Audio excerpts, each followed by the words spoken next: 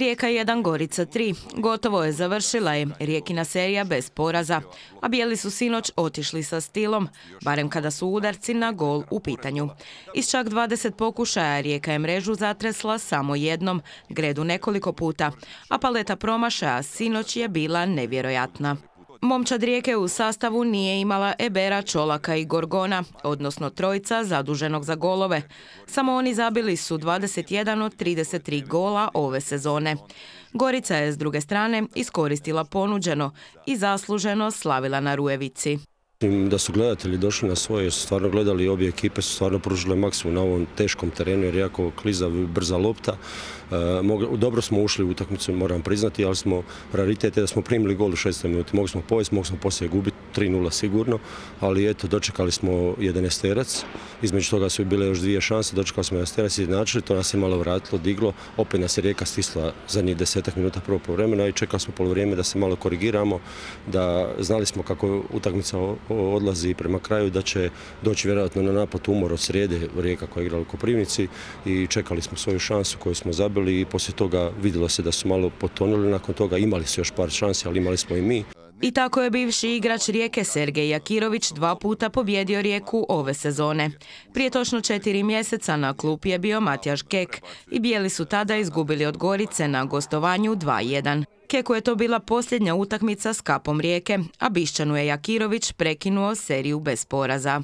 To su utakmice koje onako mogu otići na jednu na drugu stranu. A rijeka od Gorice do Gorice uopće nije izgledala tako loše. Padali su redom Lokomotiva, Dinamo, Osijek, a s Hajdukom je rijeka igrala neodlučeno. Kraj 2018. bio je puno bolji od početka ove godine. U dvije ovogodišnje utakmice Rijeka je dobila četiri gola, a Kosti je dao dva, a njegovi golovi bili su dovoljni samo za jedan bod. Golove Akostija ove godine sa klupe je odgledao i Tibor Halilović. Mladi vezni igrač stigao je u Rijeku iz Visle Krakov kao slobodan igrač. Tibor je dobrodošao u Rijeku prije svega.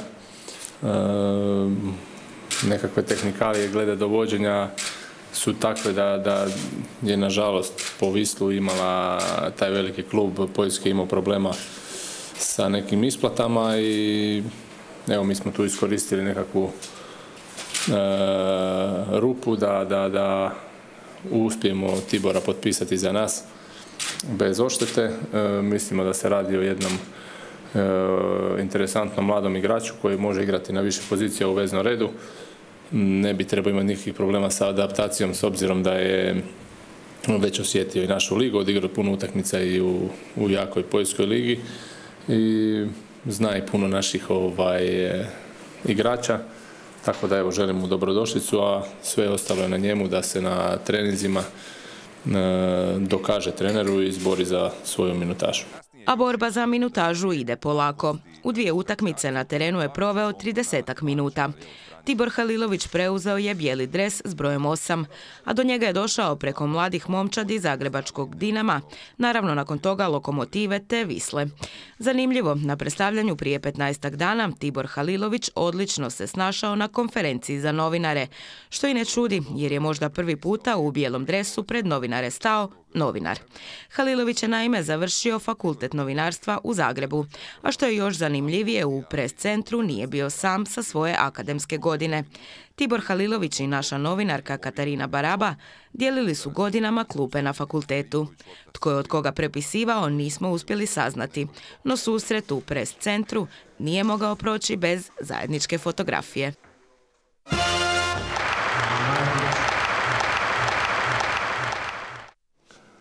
Do večer, došli u još jednu nogometnu priču. Do večer Tibor Haliloviću. Do večer. Tibor, kako se sjećaš prvi dan u Rijeci? Pa dobro, za sad su dojmovi super. E, samo nisu rezultati najbolji. To, to, to je poslije. Mamić mi se žalio na kišu, kad te kiša ne smeta. Pa navikao sam u Krakovu dosta kišovito bilo, samo mi zanadilo sad pred ovu utakmicu da je od 10 ujutro do 12 na večer pljusak padao, pa mi je to jedino bilo malo. E, kažemo, kolegica u vodu rekla si počeo u Dinamu e, kao dijete još, ali tako? Ajde da čistimo naprijed to. E, ti nisi u nikakvoj srodnoj vezi sa Alenom Halilovićem. Ne, tako? ne, ne. Alen Halilović je druga loza, druga priča. Ne? Da, da, da. Jel tako? Tako. Nema tu, nema to. Nema, nema Jer mnogi pitaju Alen Halilovića, to je Da, druga da, priča. ne, ne, druga priča. Ti, ti si inače iz Zagreba, Da, da, iz Zagreba. rođen u Zagrebu uskoro 18. ožujka, 24 godine. Tako je. Vidim ovdje da si nosio broj 26. 26? Da, nisi nosio prije. Ne, nisam, nisam. A nisi, onda dobro, sad imaš ospicu. Osmicu, da. Uglavnom sam nosio osmicu ili u mlađim kategorijama desetku, tako da Mhm. to su najčešće dva broja što sam nosio. da. 8 i 10, da, dobro. E, e, Lokomotiva se odigrao 40 i, ne, za Dinamo 46 utakmica, vidim Lokomotiva isto 18 prvoligaških utakmica. Da. Razgovarao sa trenerom tvojim e, Tomislavom Ivkovićem koji te vodi u Lokomotivi Tako da. i sve najbolje o tebi. Da, hvala. Sve najbolje, dobro. Visla Krakov, 38 utakmica raskid ugovora s Rijekom dve i po godine. Kako izgleda to, taj raskid ugovora sa, nakon financijskog kraha Visle, veliki klub bankrotirao? Pa da, eto, jednostavno tako se nekako brzo odigralo. Nisam ni ja mislio da će se do tog doći, pošto se zna koliki je to klub. Zbog toga sam i dolazio tamo, bilo mi je primamljiva ponuda. Prva sezona je prošla dobro, pogotovo drugi dio polusezone sam većinu utakmica odigrao. I taj jedan početak te druge sezone, ono, bio sam spreman do kraja ugovora, naravno, odigrati što bolje, ali mislim da nisam odigrao onoliko još koliko bi mogao pokazati. Na- Nažalost, na početku pripreme se ta neka ozljeda s ramenom dogodila, što je sad iza mene, ali to je tipa ovu polusezonu da nisam odigrao još više utakmica.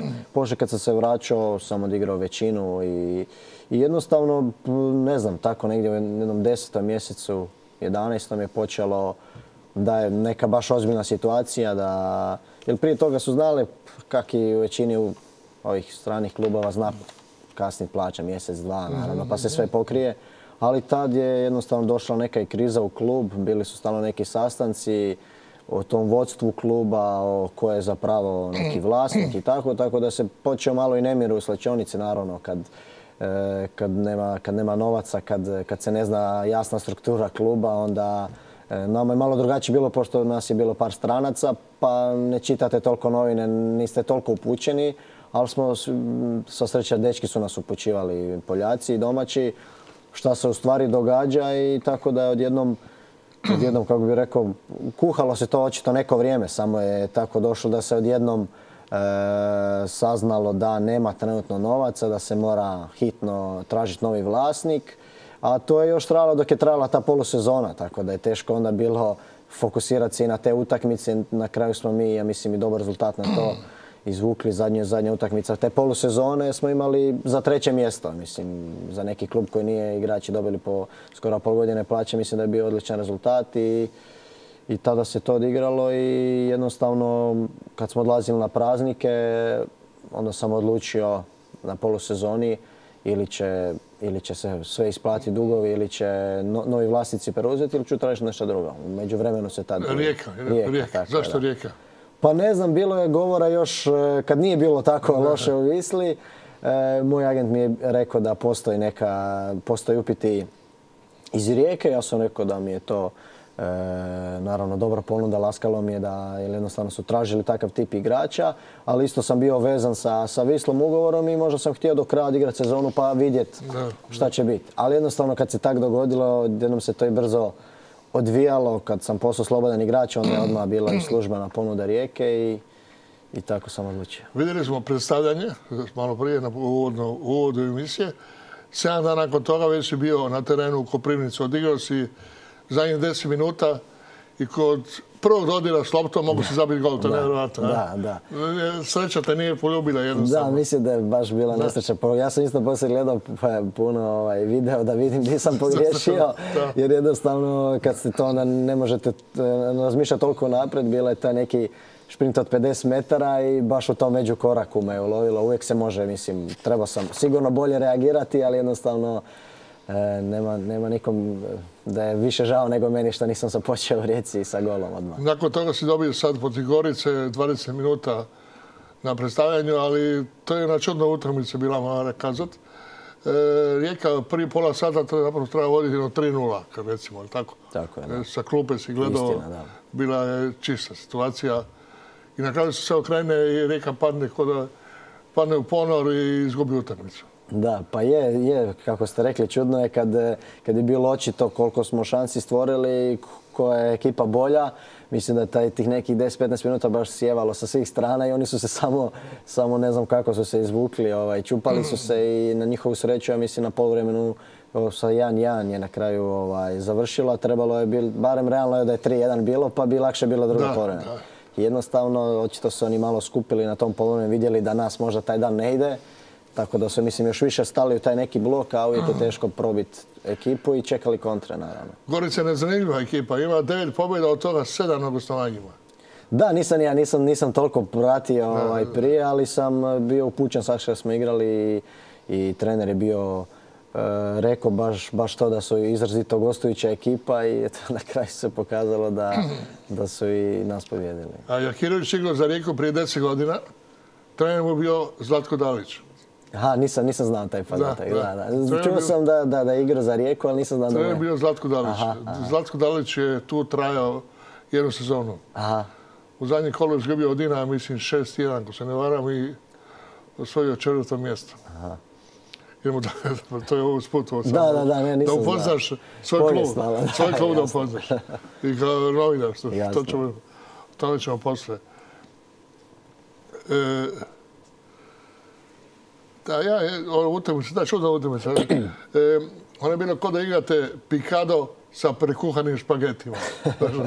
Nikak da se zavije. Da, tako, se slažeš? Je, slažem se. Pa, 21 udarac na gol, pa 3 stative. Da, mene je isto zanimala poslije utakmice ovaj, baš ta statistika, jer, jer mislim da nisu bile udarci bez veze, bili su dosta izraženi Da, i udarci, dobri udarci, i dobri da. udarci i dobre akcije. Siloviti, čanađija, Tako je, ovo, da. ono, da. Mislim da je bilo dobrih prilika, nije bilo ono da se pukne reda radi, tako da jednostavno je bilo teško shvatiti da, da je samo jedna ušla.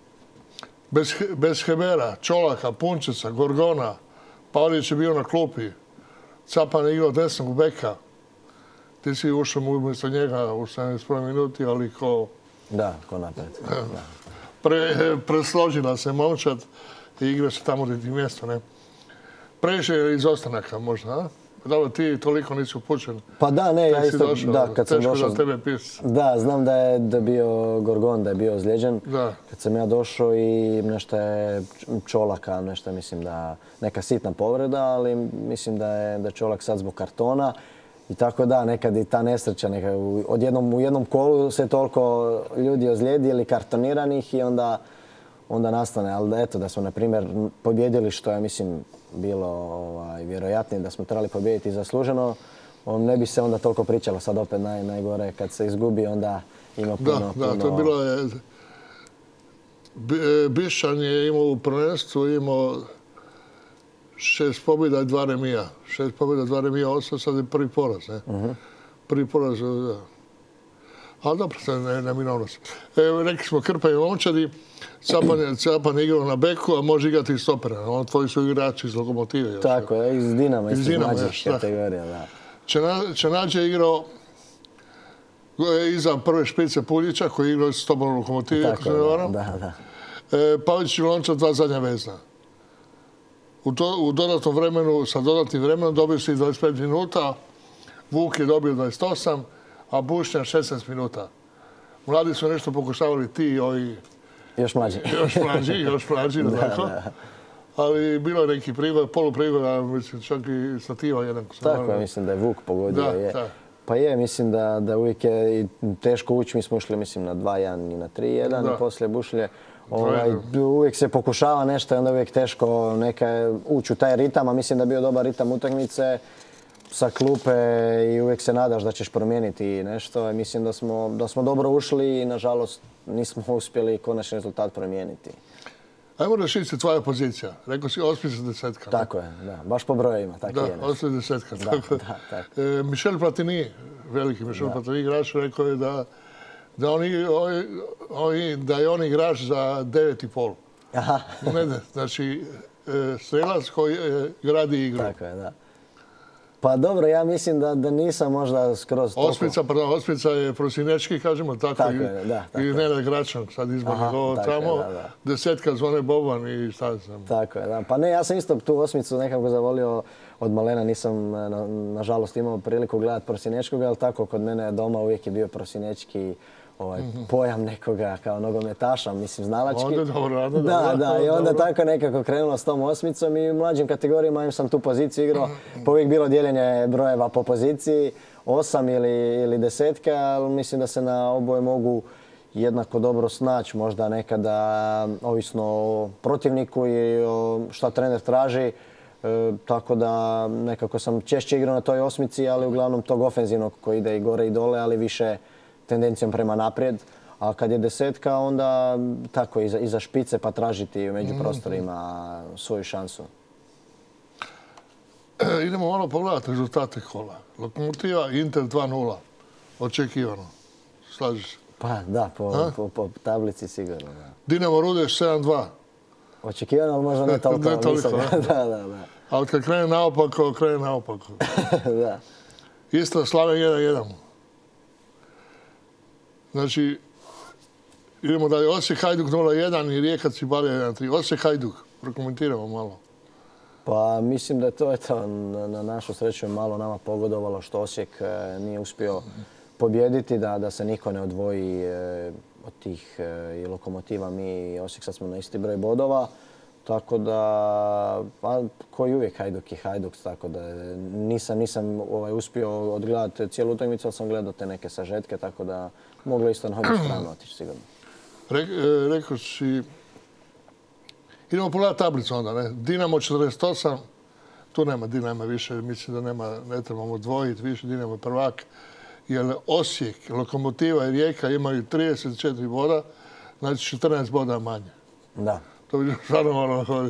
Da, nikad, nikad ne reci nikad, Dobro, ali jasno. Ona priča idemo u utakmicu po utakmicu. da. Pa eto, na, nažalost, evo da, si sad, da smo mi imali te dve utakmice pobjede, onda bi sve još bilo živo. Mislim, i ovako je, nikad ne može se otpisati. A da. i Gorica se popela na 30 bodova. Tako je, da, to, to isto. A i Hajduk sa 26 već... e, Se da, da, da, da. tako. Tako da se zahuktalo možda sad malo. Da. Dobro, e, zanimljivo je, Belupo je imao 18 bodova, od toga 12 remija, ne? Bićan je prvi poraz Bićana, smo rekli, u devetom kolu. Ima 6-2-1, ali se, momčad je još u formiranju, tako da ispada da ima bolje rezultate u prvom dijelu sezone kad je došao nakon Keka, kad je odmah uskočio u, u Kekovo sedlo, nego sada nakon priprema ovo. Samo činjenica da je nije bilo pola momčadi, ne? Da, pa mislim da je tako uvijek, nije uvijek, ali kad se promijeni trener, ako došlo, ne znam, nisam bio Da. upućen u to, dođe do nekog zasićenja, onda možda jednostavno taj neki pozitivan šok se uvijek doživi i mislim da su na tom, na tim krilima sigurno je, je Bišćan doveo svoje neke nove stvari i što je pasalo slačionici, što ja mislim i dalje paše i mislim da se to očito vidjelo i tad na terenu, a sad nažalost ne, ne mogu nemam neki ovaj, jasan razlog zašto nije dalje nastavilo, jer mislim da to bi se složili da, da se vidjelo igra dobra sad i protiv Poti Gorice, Gorice, da, pola da. sata, da, ne može. Tako da se, mislim da se tu nema šta reći, jednostavno je takva bila situacija da jednostavno nije se moglo pobijediti, nije htjela lopta ući u gol i to je tako. rekli smo o formiranju momčadi sad. Još se ne zna da li će Hebero otići ili neće. Ali znamo da si ti došao. Znamo da si došao i odmah je zaigrao. Znamo da je, da je sutra predstavljanja, predstavljanje Roberta Murića. U 13 sati sutra predstavljanje Roberta Murića. Robert Murić, igrao si s njim. Da, igrali smo, ne znam, možda godinu, dvije kad smo bili mlađi u juniorima. Što se mene tiče, odličan igrač. Ovaj, Pozicija? Pozicija, mislim, desno krilo, ljevak, pa na unutra. Eto. da. da, da, da. Mislim da ima jako dobar dribling, pogotovo i udarac i sigurno, sigurno će biti e, pojačanje za, za našu ekipu. E, I najava dolazi Ivan Tomečak iz Briža. Pa da, mislim da, da Tomečaka ne treba puno komentirati. Znamo, znamo koliko, je, koliko ima utakmica, koliko je za Rijeku isto pomogao, koliko karijeru poslije toga napravio, tako da je to sigurno jedno pojačanje za ekipu da, tako neko iskusni sa, znanjem i iskustvom sigurno će još pridonijeti da i pomoć naš, nama mladima u našem razvitku. Prva utakmica na Rojevici odigrana je drugog kolovoza. 2015. Rijeka dobila lokomotivu koju je vodio Ante Čačić, kasnije izbornik reprezentacije. To me čeka bio na klupi više, je bio u odlasku. Ali gol za lokomotivu dao je Andrijašević, a igrali su Capan i Puljić. Puljić na klupi isto, ne? Aha. Znači sve se tu vrtimo u krug, Da, da, da. Taj fond igrača vjerojatno je tako sužen. E, sada predstoji borba za drugo mjesto. U sljedeću kolu u nedjelju igrate s Interom u Zaprčiću, je li tako? Tako je. onda u, u, u travnju, mislim, 24. polufinale kupa u Zapršiću mhm, opet. U Zapršiću, da. Kup je, kup je trofej koji treba pokušati dobiti. Pa sigurno, mislim da je glavni fokus bio i od kad se ova polusezona završila taj kup što je i najizglednija šansa doći do, do trofeja i mislim da tu imamo i velike šanse ako nastavimo ovako raditi. E, naravno uvijek treba ići korak po korak sa Interom odigrati, ali jasno da je naš cilj to finale i naravno ko dođe u finale sa svakim na jednu utakmicu da U Puli igra finale, to je tu blizu, ne? Da pa ćemo vjerojatno imati domaću atmosferu. Da, da, da. ako, da, drugo polufinale je Osijek Dinamo, ne? Osijek Dinamo. Tako da vjerujem da, da, ako dođemo tamo da će nam sigurno biti e, nekako bolje nego, nego drugoj ko, ko će doći u finalu. Zanimljivo, prvi trofej koji Rijeka osvojila tako što je u dvije utakmice dva put dobila Dinamo. 2014. A to me čak je dao gol za 1-0 pobjedu u Zagrebu. Aha, 1-0 Rijeka dobila, da. Znam da su da, da je to, da je osvajanje to kupa, ali nemam, nisam znao ko je zabio. Da, da su Čak zabio u Zagrebu, bilo 1-0 dobila Rijeka, tu je Rijeka dobila 2-1. Zoran Mamić je vodio Dinamo. Aha. Idemo dalje, a? Idemo. Idemo opet na znance. Ovdje su dočekali znanci. Capan, Pavićić, Mamić, e, sad stiže e, e, Murić, je li tako? Tako je. A? Tako je, da. U Dinamo dva igrao sa Šunjićem, Capanom, Bekićem, u Lokomotivi Ivković, ili tako? Tako je, tako je. Pa da, mislim da je sigurno lakša bila ovaj, moja odluka dolaska tu, pogotovo što, što sam se mogu čuti sa nekim od da, da vidim kakva je situacija, kako se njima sviđa, kako je stanje u klubu općenito od, same, od samog upravljanja do naravno što je meni najbitnije ekipe, momčadi trenera. I sigurno, kao što sam rekao i prije, sa Capanom se jako dugo znam i iz mlađih kategorija, sa, sa Perom također. Sa, sa Pavekom Pavićićem sam igrao kratko, jer on je odlazio ovaj, kad je mlađe, otišao ranije u lokomotivu. Tako da sigurno i mislim da dosta, to su sve kvalitetni igrači i sigurno će lakše, e, lakše meni biti se uklopiti u taj sistem. Šunjić je postao bitan karika u Dinamo i u mladoj reprezentaciji, tako? Igrao si u paru, tako, igrali igrao si u paru s njim u Lokomotivi. Tako, tako, igrali smo zajedno u Lokomotivi, još prije toga isto u mlađim kategorijama mm. juniorima. Mi smo, mislim, jako dobro igrali, on kod ta evo, klasična šestica, ja sam ko osmica više igrao. Ovaj, tad je s nama, mislim, i Fiolić igrao kao, mhm. kao ispred nas. I mi da to dobro funkcioniralo. Po meni jedan jako kvalitetan igrač i sigurno sigurno će dočekati još više svoju priliku u Dinamu, a kasnije ko zna. Da, mlada reprezentacija e, izborila nakon 14-15 godina nastup na Europskom prvenstvu. Igra se u, u, u Lipnju negdje, u Samarinu u Italiji. To je Brekalo, Vlašić, e, Čaleta, Car, to je snažna reprezentacija. Pa mislim da imaju da stvarno jako dobru reprezentaciju, jer nakon dugo godina većina igrača igra u svojim klubovima i imaju mm. važnu kariku u svojoj momčadi, a pogotovo što igraju na, na dosta visokom nivou. Većina dječki igra vani i to ne u, u slabim ekipama, slabim ligama i mislim da mi je to najbitnije jer su svi u nekom fokusu u, svoj, u svom klubu i u reprezentaciji tako da mogu i nositi reprezentaciju. Tibore, da li igrači, mladi igrači idu prerano u inozemstvo? Evo imamo, rekao si igrao vani. Mnogi ne igraju vani. Mm, tako je, da. Ali Halilović je sad iz Milana išao u, u standard iz Lježa, igrao je... Da, Pa ne znam, ne, mislim da nema, teško reći, mislim da nema nekog pravila. Neko, neko se osjeti da je, da je spreman za taj iskorak ili jednostavno ne želi, nikad se ne zna kakva je kome situacija u klubu ili e, ne želi čekati svoju priliku. Jer puno puta i sami znate, tapše vas po ramenu, po ramenu dobri ste, dobri ste, a nikako da priliku sačekate. Onda mislite možda da će lakše biti vani ako neko da neke veće novce za vas i tako da, ne, ja mislim da nikad nema pravila. Neko, neko se odmah može prilagoditi, a nekom treba, treba duže vremena. Trčimo za novcem ili za slavom? Pa mislim da u današnje vrijeme za oboje. O, jedan, da, da, da. Mislim da današnje vrijeme... To kod tebe? Pa kod mene ja mislim ni za jednim ni za drugim. Ništa? Još, još uvijek ne, da. Bravo. Tako da, da, da će vidjet ćemo u budućnosti. Mislim, meni je najvažnije u ovom trenutku igrati i ovaj, dokazivati se i mislim da će on doći sve jedno s drugim.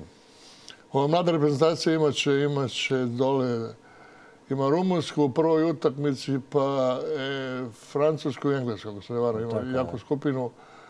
Četiri ekipe najbolje idu na, na olimpijske igre u Tokiju. To je izazov za sve. Pa isto jedno, da. Pa, kao što ste rekli, jaka je skupina, ali mislim da većina, mislim da je jedino jedna slabija možda skupina isto, jer uvijek je na tom europskom samo najbolji od najboljih dođu, tako da uvijek se mora odigrati protiv najboljih i pobijediti najbolje da, da i vi budete među njima.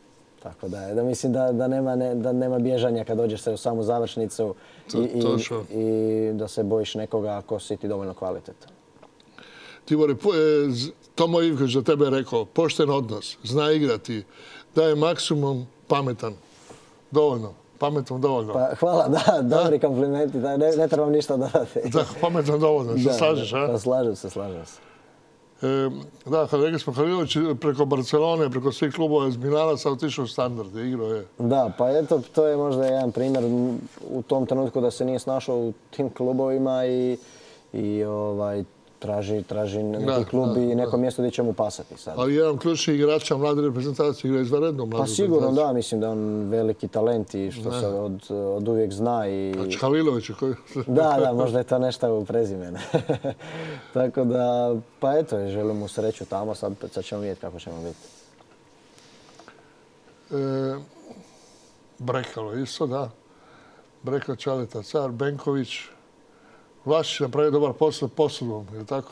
Pa tako je, kako smo, kako smo rekli, ako u jednom, jednom klubu se nije, nisu dobro snašli dečki, zašto ako neko vjeruje u sebe, zašto ne bi potražio ovaj, kvalitetnu sredinu za njega, što je za Vlašića bio, mislim, pun pogodak, gdje je igrao tamo cijelo vrijeme, gdje je bio isto jedan od važnijih igrača, gdje je pokazao svoju kvalitetu i jednostavno, kako da kažem, e, samo mu je to bio veći plus da onda za reprezentaciju su igrali svi odlično. Tibore, e, znam da si govorio već o, tom, uspoređivo si već Poljsku i Hrvatsku ligu, ali daj još par riječi kaži za gledatelje. Pa dobro, mislim, to je naravno moje mišljenje. Neko sad, ovaj, e, taj, moj prvi dojam kad sam došao tamo je onako na nekome mhm. e, većem nivou je ta infrastruktura i popraćenost. Jednostavno i mediji su puno uključeni u to, njihove emisije, tako da da se onako osjećate baš, baš da, da vas se gleda, da je svaka utakmica.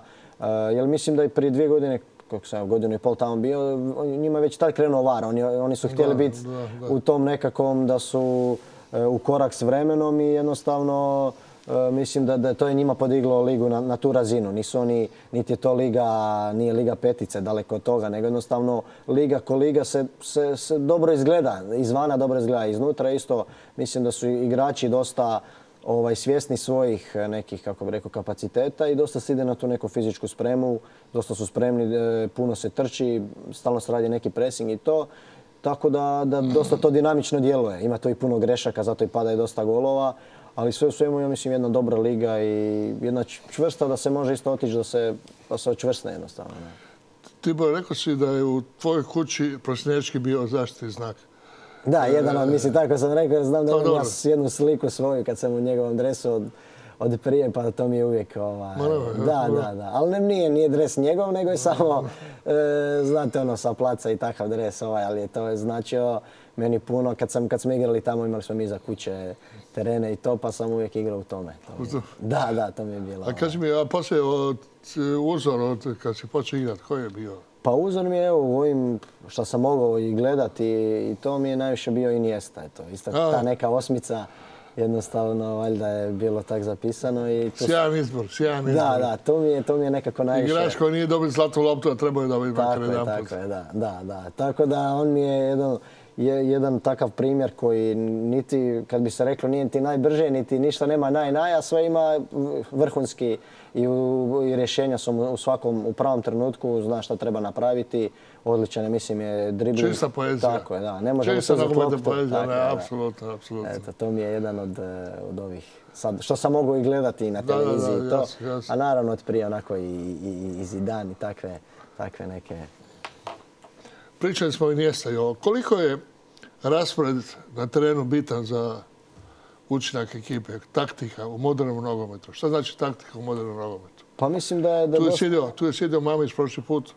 Prošli tjedan rekao je da je u Italiji puno naučio po pitanju taktike.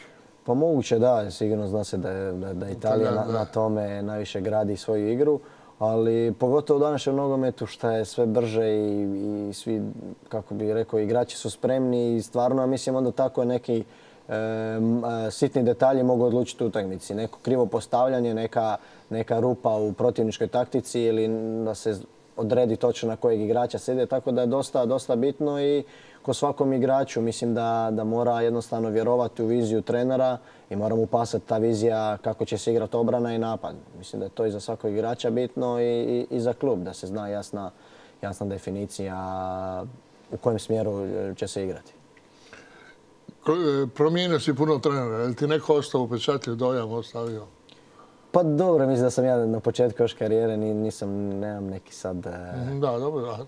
Tako je, da. Ali mislim da sa svim trenera, oko svakog trenera naučiš nešto ono, šta ti paše, šta ti, šta ti ne paše i tako da se treba svakom prilagoditi i izvući maksimum kod svakog trenera. E, I vratimo se na taktiku. Jesu li treneri robotizirali nogomet? Rezultat je svetinja, je tako? Da, da. Što bi rekao Allegri, ako hoćete spektakl, idete u... Hoćete zabavu, idete u cirkus. Ne?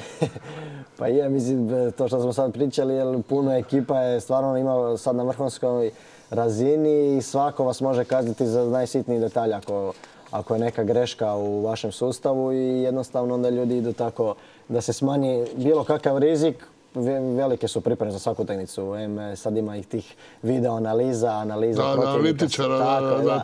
Na tribinama za vrijeme utakmice. tako, onda se gleda se i protivničke naravno ekipe i onda jednostavno ćeš izvući maksimum da svedeš svoj rizik od e, izgubljene utakmice na minimum. Mislim, to je, to je jedan taj plus, ali što ste rekli, možda to nekad onda izgubite u neku čar ili nekad bude tvrdo na tvrdo i onda ništa, ništa. Dobro. Sljedeće pitanje ti neću pitati, već si više odgovorio. Trkači ili umjetnici, kad si rekao i njesa, rekao si sve. Tako je. rekao si sve, to si me oduševio, kupio si me. Imamo, je- imamo e, da vidimo što kaže naš komentator Mina Radović. Molim Mina Radovića.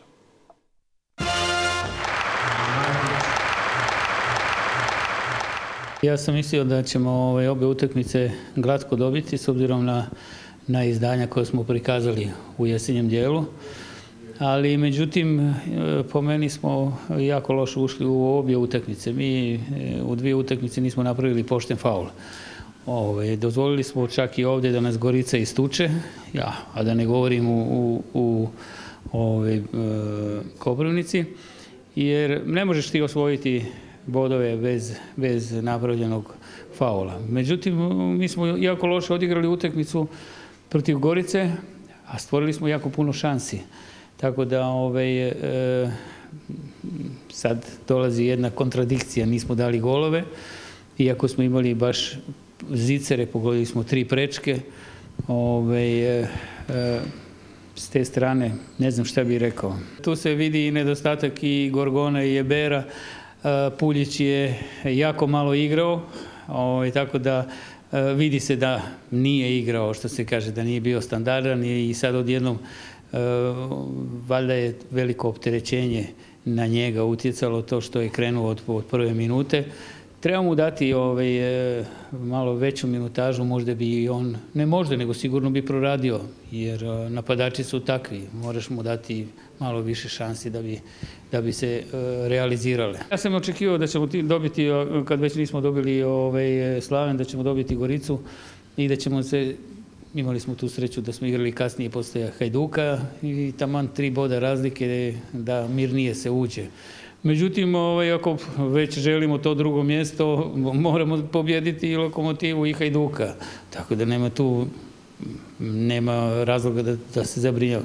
Žute je otišao, ali ovaj, po meni treba jedno, još jedan dobar bek i dva stopera. Tako da, bi, da bismo tu bili baš, ja ne znam ove igrače koji su došli, ovaj makedonac stoper, ne znam kakav je igrač, ne mogu ništa reći, ali bi, ovaj, čini mi se da mi lako primamo golove, pogotovo kroz sredinu, tako da ovaj, po meni bi tu trebalo najviše pokloniti pažnje.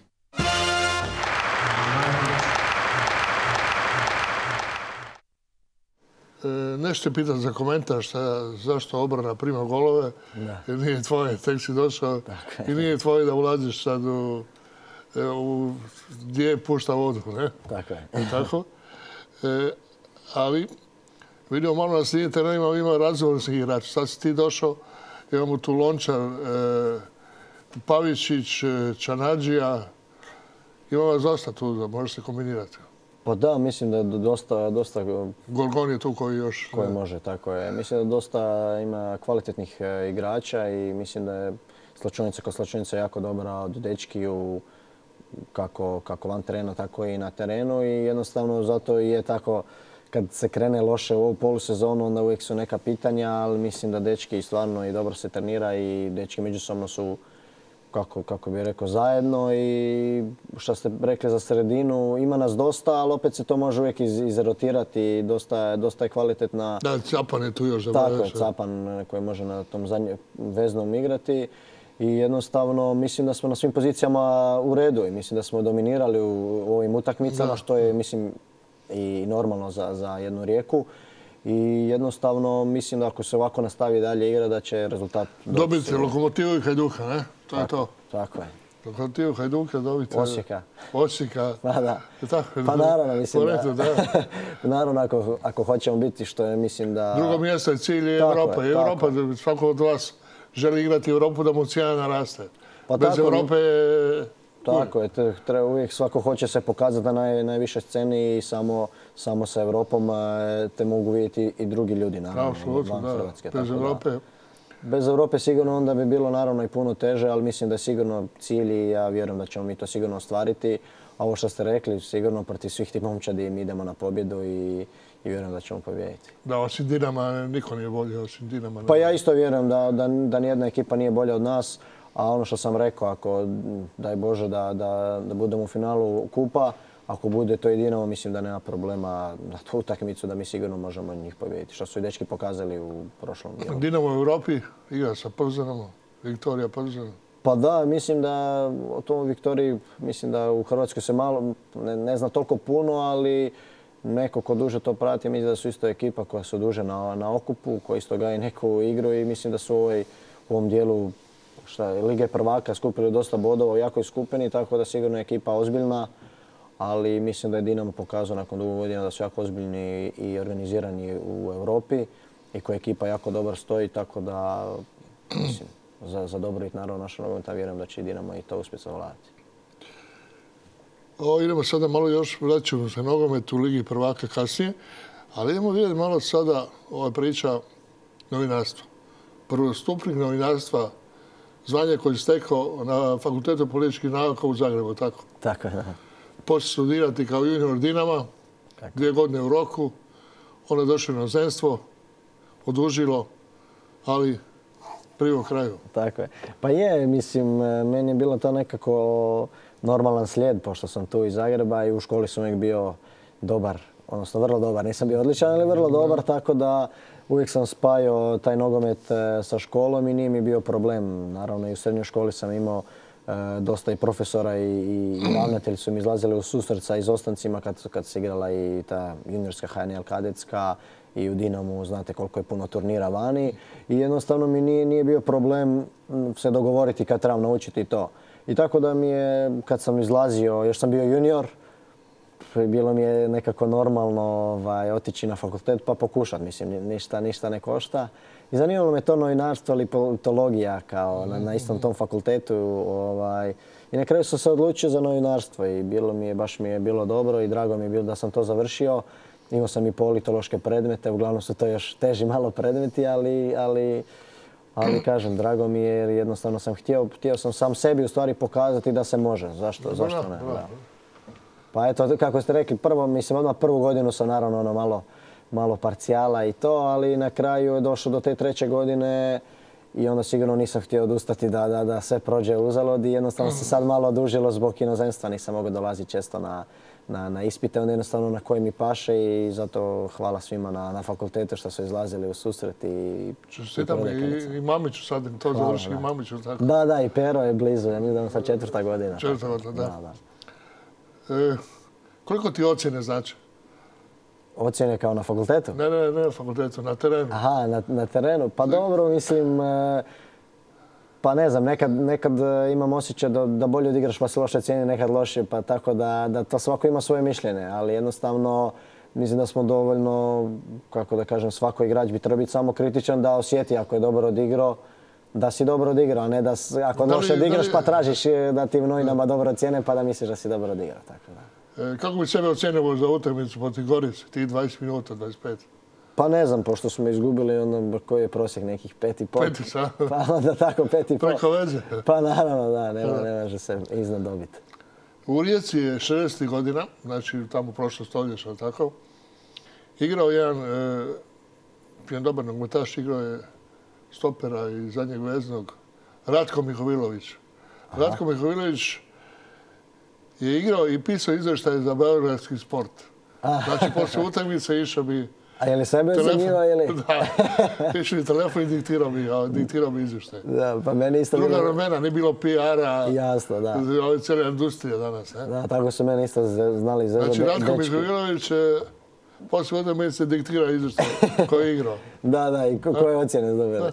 Pa ne, meni su znali isto dečki zezat kao ću ja njih ocjenjivati, onda sam rekao da moraju, da, da moraju biti dobri sa mnom ako jednog dana da, možda da, njihova djeca bude igrala. Da.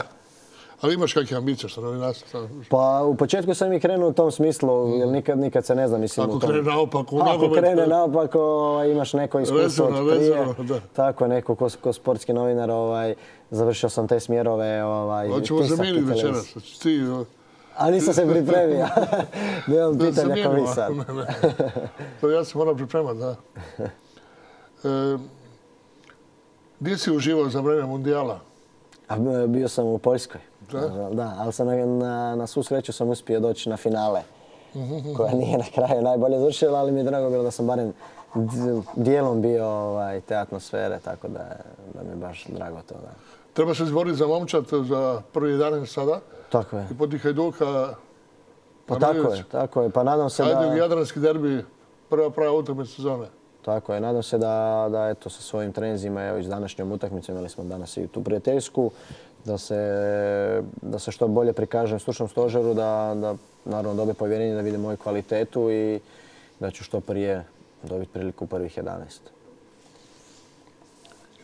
Igrat se, nastavlja se Liga prvaka, tako? Tako je, da. Ko je tvoj favorit? A favorit?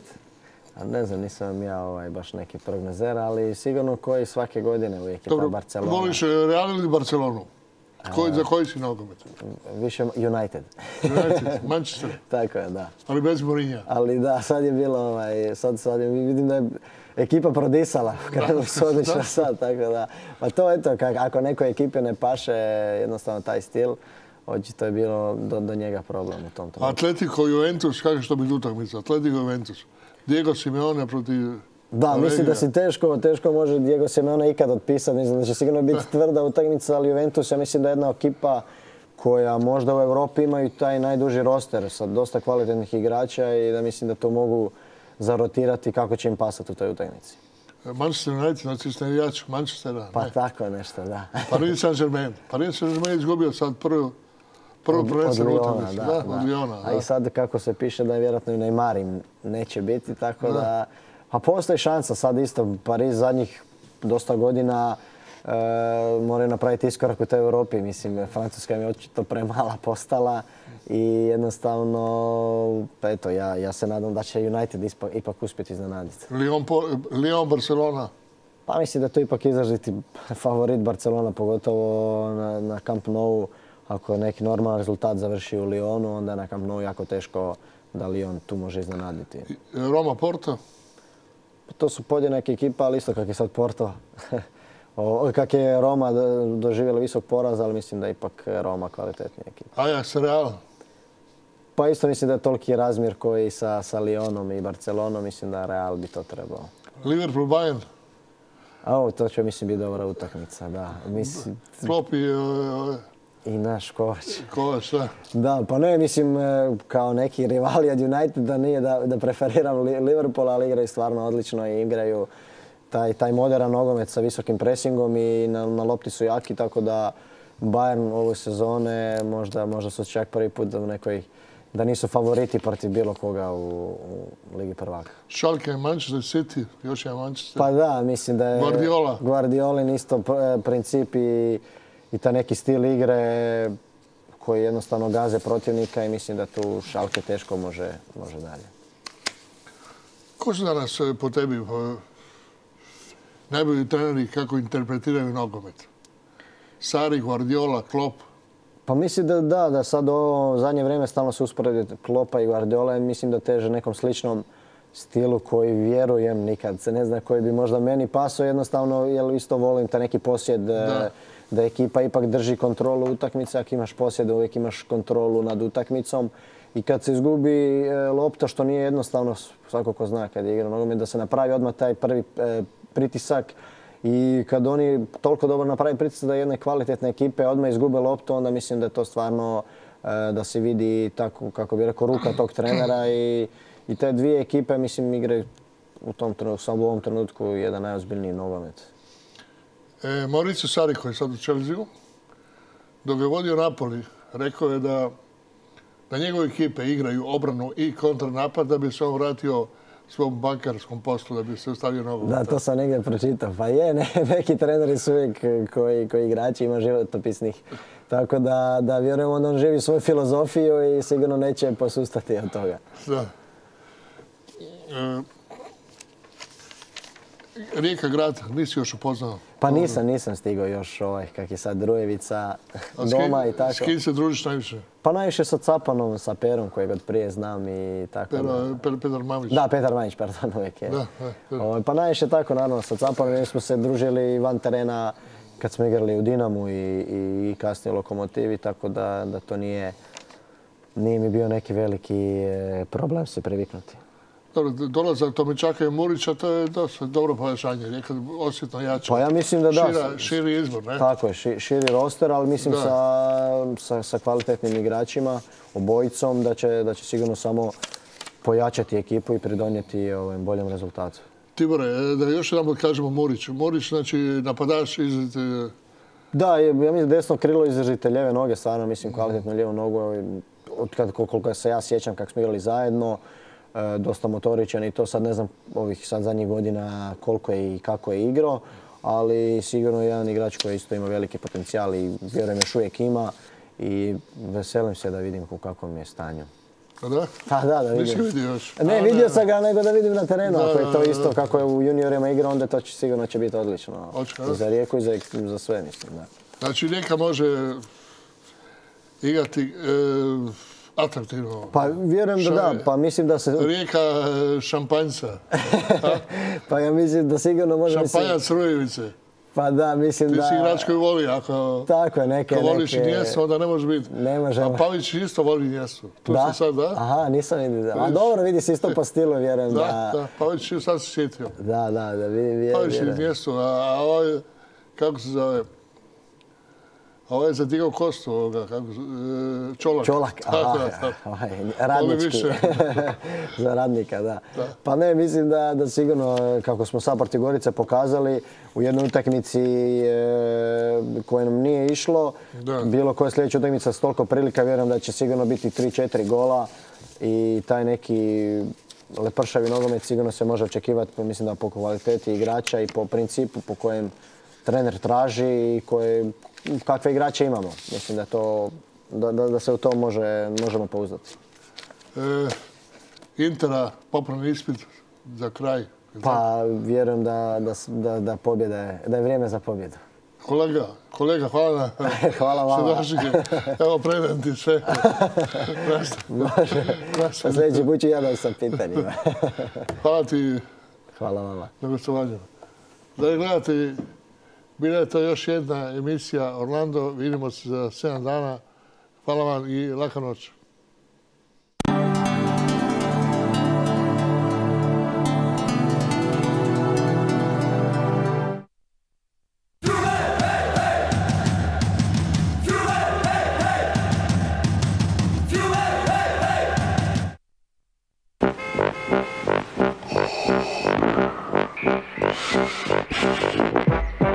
Ako ne možete disati, ne možete raditi ništa drugo. Uzmite Meralis H. Njegova inovativna 3 u 1 formula. Istovremeno odčepljuje, razređuje sluz i štiti sluznicu nosa. Dišite slobodno i spavajte mirno, jer kada nos ne radi, radi Meralis H. Prije upotrebe pažljivo pročitajte uput o lijeku, a o rizicima i nuspojavama upitajte svog liječnika ili ljekarnika. Poduzetnik ste. Jeste li zadovoljni svojom prodajom? Dobro bi vam došla pomoć stručnjaka. Nivago, full service digitalna agencija, ima pravu stvar za vas. Povećavamo vam prodaju izradom web stranice, Google AdWordsom, SEO optimizacijom, Facebook oglašavanjem i drugim digitalnim rješenjima. 89% kupaca pretražuje internet neposredno prije kupnje. To je prilika da im se upravo vi pokažete. Vrijeme je da vas kupci počnu zvati. Nivago, digitalna agencija